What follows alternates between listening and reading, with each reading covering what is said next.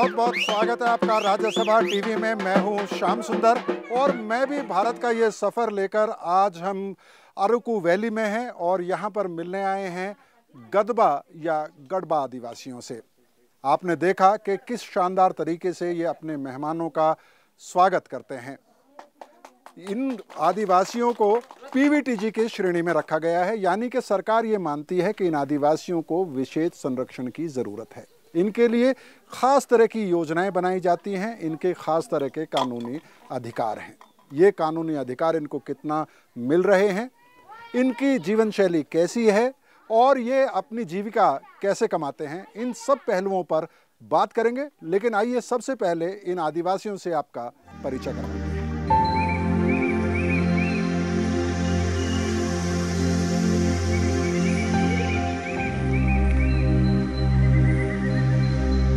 अरकू घाटी के रेगा गाँव में कुल तिरसठ गढ़बा परिवार हैं और गाँव की कुल आबादी है 270। गाँव में दो ही पक्के मकान हैं बाकी घर कच्चे ही हैं गढ़बा आदिवासियों को आंध्र प्रदेश में बेशक आदिम जनजाति की श्रेणी में रखा गया है लेकिन कम से कम रेगा गाँव के आदिवासियों से मिलकर नहीं लगता कि वो मुख्य धारा कहे जाने वाले समाज से बिल्कुल अलग थलग हैं। या फिर उसे आधुनिक सुख सुविधाओं का इल्म नहीं है।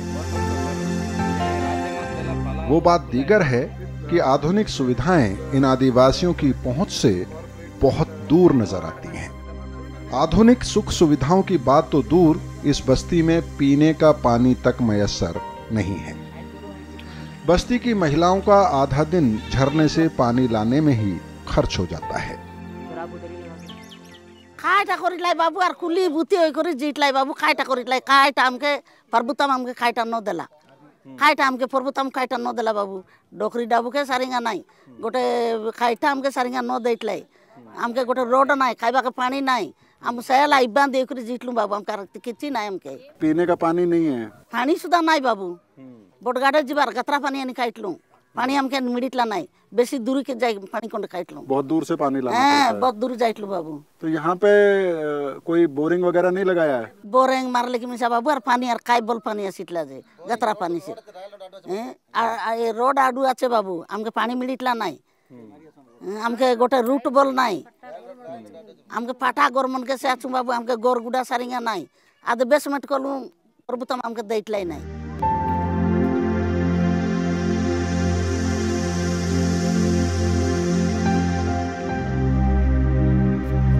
खान पान में मांड्या या रागी की अहम जगह है। एक तरह से यही इन आदिवासियों का मुख्य भोजन है। इसके अलावा चावल और दालें भी खाने में शामिल हैं। कभी कभार मांस मछली भी खाते हैं।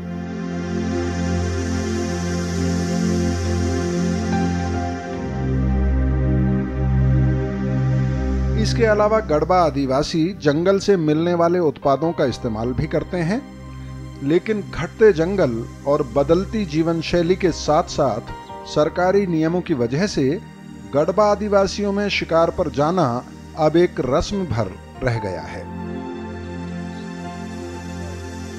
सरकार इन आदिवासियों को सस्ता राशन देती है लेकिन उसमें भी कई तरह की अनियमितता की शिकायत मिलती है আছে বাবু কি মাছে আমাকে ন দেলাই বাবু আর কাই করবো আমি কুলি বুতি ওই করেছে জিতলু বাবু আমাকে কিছু ন মিললা খাইটা ন মিলিটলা আমাকে গোর মন দেখ বাবু কেমতি আছে कौन सरपंच आमके बोल देखे ना कौन आमके बोल देके ना बाबू कौन मिनिस्टर आए आमके बोल देके नहीं. हमके काटा कर रेशन कार्ड चाउल मिसा देखे ना रेशन कार्ड मिसा सारिया ना काटा सारिया ना बाबू. गोटा लोक बा रेशन कार्ड एत मंदा कते खाइबू हम आमके पेट मिसा पूरीता नहीं.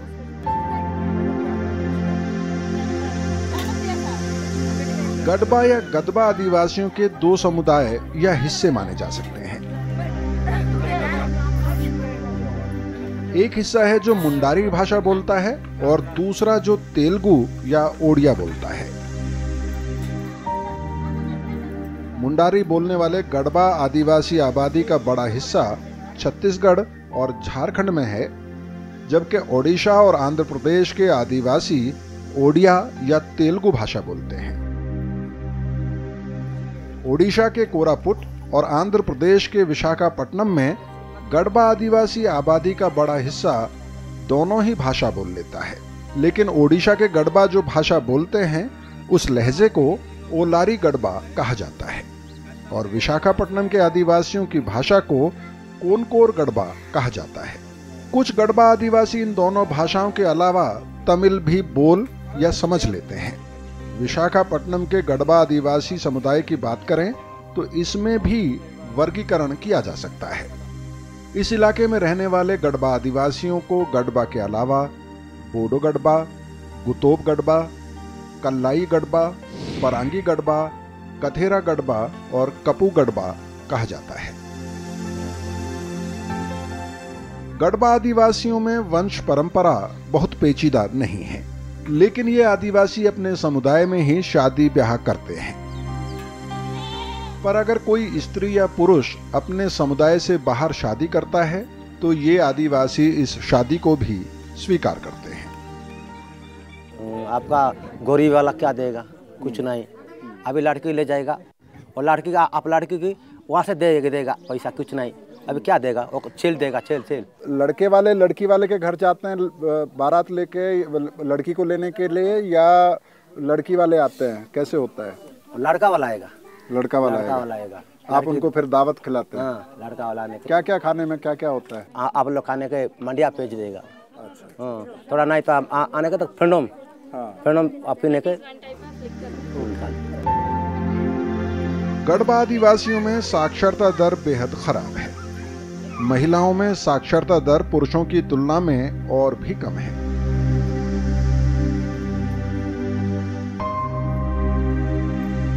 सरकार की तरफ़ से जिला स्तर पर आदिवासियों के लिए विशेष आवासीय स्कूल स्थापित किए गए हैं।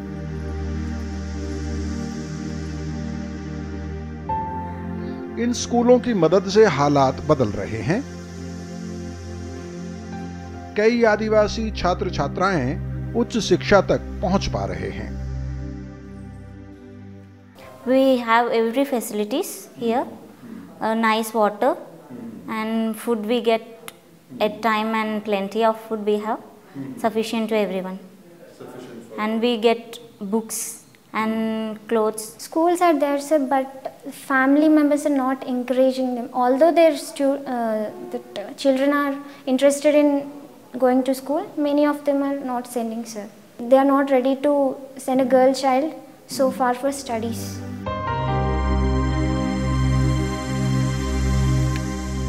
लेकिन आदिम जनजाति के छात्र छात्राओं को यहाँ भी कई तरह की चुनौतियों का सामना करना पड़ता है। मसलन इन छात्रों को कई बार भाषा की परेशानी का सामना करना पड़ता है।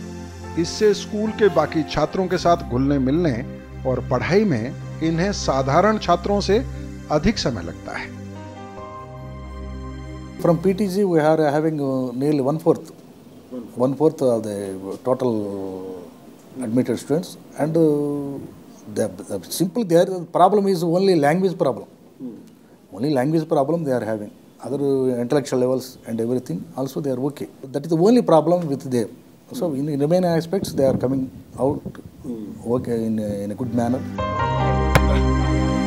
कई तरह की चुनौतियों के बावजूद कई गढ़वा और दूसरी आदिम जनजातियों के नौजवान उच्च शिक्षा तक पहुँचने और पढ़ाई पूरी करने में कामयाब हो रहे हैं। लेकिन पढ़ाई के बाद रोज़गार एक बड़ा मसला है। इन जनजातियों के नौजवानों के लिए खास तौर पर नौकरियों की भर्ती का प्रावधान है। लेकिन आमतौर पर ध्यान में यह आता है कि छोटी मोटी नौकरी तो कभी कभार इन आदिवासियों को मिल भी जाती है, पर अच्छी नौकरी इनके हिस्से में नहीं आती। आपके बेटे को नौकरी नहीं मिला? नहीं मिला। बा पढ़ाई ली। सिना का नंबर पर गुजे का नहीं नहीं नहीं दिला में खाई करबी।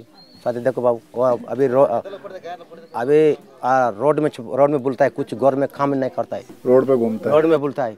अभी हाँ सोलह सत्रह वर्ष में वो अभी हॉस्टल में घुमा के खा, खाना खाया। यहाँ से आने के अब देसी वाला काम करने के नहीं करेगा बाबू। पढ़ाई लिखाई कर लिया अब देसी काम हाँ। देसी नहीं काम करेगा। आपकी तो मुश्किल हो गई। मुश्किल अभी अभी आप लोग बुरा है गलो उसको क्या खाना दे दिया?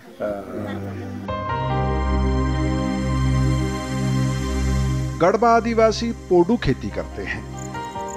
खेती की इस विधि को शिफ्ट कल्टीवेशन भी कहा जाता है। लेकिन रेगा गाँव में कई ऐसी बातें भी नज़र आती हैं जो इस बात की तरफ़ इशारा करती हैं कि ये आदिवासी बदल रहे हैं। जीने की इनकी तकनीक भी बदल रही है। मसलन ये आदिवासी खेती के लिए अब हल बैल का इस्तेमाल कर रहे हैं। इनके हल में लोहे का फाल भी नज़र आता है। आमतौर पर आदिवासी इलाकों में अभी भी हलों में लकड़ी के फाल ही इस्तेमाल होते हैं। पर अभी भी परंपरागत खेती में ये आदिवासी अपने को सहज महसूस करते हैं। वनाधिकार कानून 2006 आदिवासियों को जंगल और ज़मीन से जुड़े करीब 12 अधिकार देता है। इन अधिकारों में आदिवासियों को जंगल की ज़मीन पर खेती का अधिकार भी दिया जाता है। लेकिन रेगा के गढ़वा आदिवासियों को अभी भी ज़मीन के पट्टों का इंतज़ार है। धरना बाबू पकाया तू धरना नो दलाई धरना भी किया था? हाँ, धरना सुधा खोला गया नो दलाई बाबू देवत नहीं आता। कहाँ किया था धरना? धरना के अर्को लाई धरना खोल लेकिन इन इलाकों में मनरेगा यानी महात्मा गांधी ग्रामीण रोज़गार गारंटी कानून काफ़ी सफल नज़र आता है। यहाँ के कई पंचायत क्षेत्रों में लोगों को इस कानून के तहत काम मिल रहा है, जिसकी वजह से इन आदिवासी इलाकों से एक हद तक पलायन रुका हुआ है। ఈ ప- ప్రభుత్వం కూడా అన్న మరి ఒక ఒక మనిషికి ఒక రోజు కూలి ఆ, నూట తొంభై రూపాయలు రెండు వందల రూపాయలు అని చెబుతుంది కానీ మాకు ఇక్కడ ఆ, కూలి ఏమో నూట వంద రూపాయల నుంచి నూట యాభై రూపాయల లోపే పడుతుంది తప్పించకని ఇదివరకు నూట యాభై రూపాయలు దాటి మనకు కూలి రావటం లేదు कई अनियमितताओं के बावजूद मनरेगा ने यहाँ के लोगों को जीविका कमाने में मदद दी है రేటు బలికి నమ్మకి రెండు వందలు బలికి కొయ్యలే కానీ రెండు వందలు వస్తాయి వంద రూపాయలు అయిపోరు కష్టంగా వస్తాయి వంద రూపాయలు మిస సరిగా ఐబాళ్ళకి వస్తున్నాయి ఐబాళ్ళకి పోయిన సంవత్సరం బిల్లు మిస వదిలేనాయి ఆమెకి కాయకి బోలే ఎంత బ్యాంక్ తెప్పి కాయిదాలు అయితే ఆమెకు సంవత్సరం బిల్లు వదిలేనాయి కాయట వదిలేనాయి పోయిన సంవత్సరము నెల- నెల రోజులు కొల్లలో మిస ఎంత తీయచ్చు కాక బిల్లు నాయి बैंक ते गेले की ना आधार लिंक करायबर आधार लिंक करायबर बोली करी से आधार लिंक तेसी काही కానీ డబ్బు కైట వదిలే నాయి చాలా మంది ఐబార్ సైడ్ బయట सो गढ़वा आदिवासियों की गतिविधियां और तकनीक कई मायनों में बदल रही हैं चाहे वो सामाजिक हो या फिर आर्थिक इसके साथ ही ये आदिवासी अपने अधिकारों को भी अब समझने लगे हैं फ़िलहाल मैं भी भारत में एक छोटे से ब्रेक का वक्त है, लेकिन ब्रेक के बाद इस चर्चा को आगे लेकर जाएँगे और बात करेंगे इनकी रोजी रोटी की, शिक्षा, स्वास्थ्य की और साथ साथ किस तरह से इन्होंने फ़िलहाल विस्थापन के खतरे को टाल दिया है। ब्रेक के बाद एक बार फिर आपका स्वागत है। मैं हूँ श्याम सुंदर। जैसे देश के कई हिस्सों में बड़ी परियोजनाओं के लिए या फिर खनन के लिए आदिवासी विस्थापित हुए हैं। उसी तरह का खतरा यहाँ भी आदिवासियों के सामने मुँह बाए खड़ा हुआ था। लेकिन ये आदिवासी संगठित हुए और फ़िलहाल उन्होंने इस खतरे को टाल दिया है।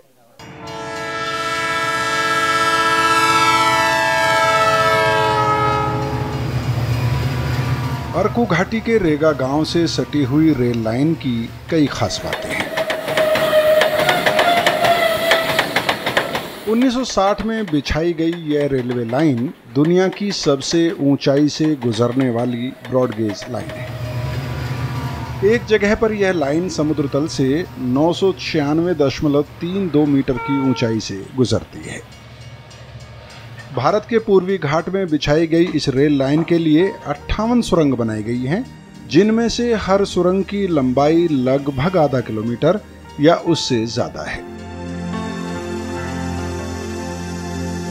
इसके अलावा इस लाइन को बिछाने के लिए चौरासी पुल बनाए गए। इस लाइन को केके लाइन भी कहा जाता है।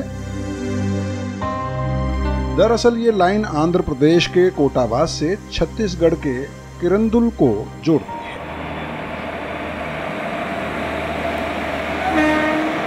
बीच में अरकू घाटी, ओडिशा के कोरापुट और जयपुर से होती हुई छत्तीसगढ़ में घुसती है। और यहाँ से जगदलपुर और दंतेवाड़ा होते हुई किरंदुल पहुँचती है। इस बात में कोई शक नहीं है कि इस रेल लाइन से तीन राज्यों के कई शहर आपस में जुड़ते हैं और विशाखापट्टनम जैसे व्यवसायिक और आधुनिक शहर से आदिवासी इलाकों का सीधा संपर्क बनता है। लेकिन इस लाइन का असली मकसद किरंदुल में लोहे की खानों को विशाखापट्टनम की बंदरगाह से जोड़ना है। अरकू घाटी जहाँ से यह रेल लाइन गुजरती है वहाँ भी एल्युमिनियम के भंडार हैं। पिछले करीब डेढ़ दशक से यहाँ पर खनन की योजना पर काम चल रहा है। First of all, government, TDP government, 2000, 2000 year, then MOU with uh, Dubai company. to do mining this area. So why we oppose this mine? First, basically our tribal uh, livelihood is damaged and environment is collapse. Tribal rights is uh, total uh, violate. So we fight against mines. Then 2000 years, uh, opposition party YS, YS, uh, YS Rajasekhar Reddy is the opposition leader. Then he opposed. After uh, came government 2004, he new proposal to do mine this area. So we uh, fight uh, and uh, uh, stop the mine.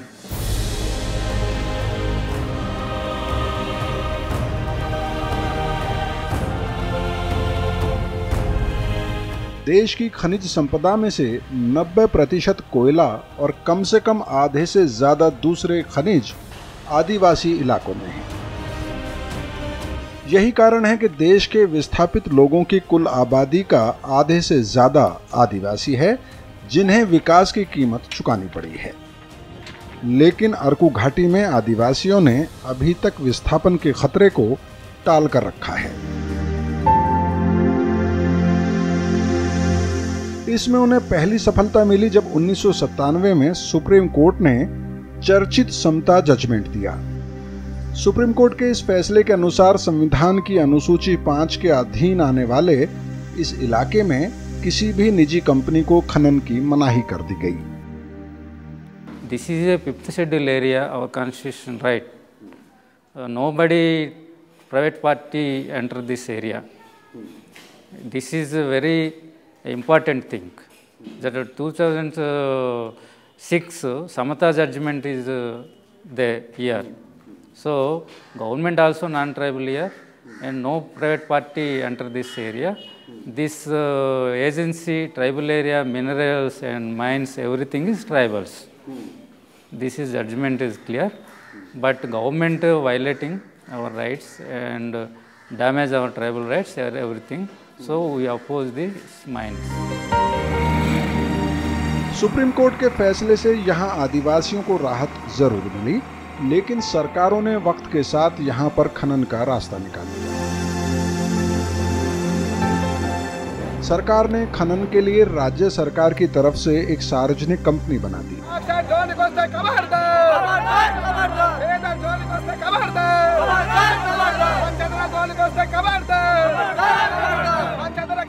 लेकिन यहाँ के आदिवासियों ने संगठित होकर कम से कम अभी तक सरकार की इस कोशिश को कामयाब नहीं होने दिया है।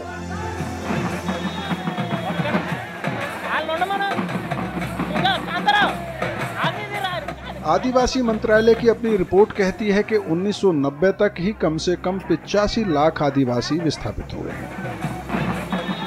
इस विस्थापन की मुख्य वजह रही है विकास परियोजनाएँ और खनन।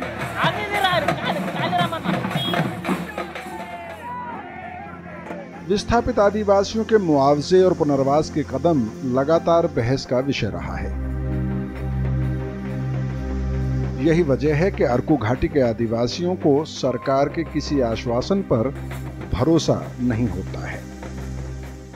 This I T D Pader area six lakhs tribal population is there if the mining is doing at least four four hundred villages is displacement and uh, 2 lakhs people are uh, will lose lose this area.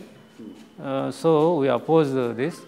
Mainly, uh, our damage mainly on our tribal rights and livelihood and in every environment in this area. So we oppose this mines. And government saying uh, we provide employment, etc., etc. So tribals uh, is not uh, believe that. So uh, example uh, Orissa, we there, and uh, this area uh, power project is uh, construction in this area. Uh, so thousands of people should displacement from there, and no employment uh, get. Uh, इस बात में कोई दो राय नहीं है कि देश के विकास के लिए खनिज संपदा की ज़रूरत है और देश का उस संपदा पर पूरा अधिकार है।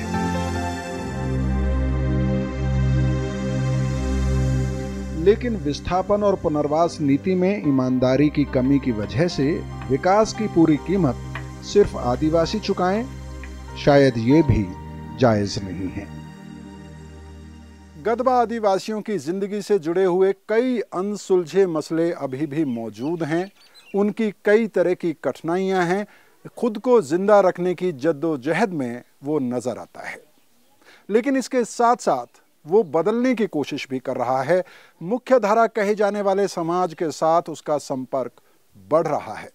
वो पढ़ना चाहता है और उनके कुछ नौजवान हाई स्कूल पास भी कर पाए हैं और कुछ नौजवान उच्च शिक्षा तक भी पहुँचे हैं।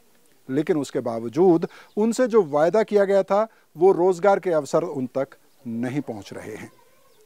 गदबा आदिवासी बदल ज़रूर रहे हैं।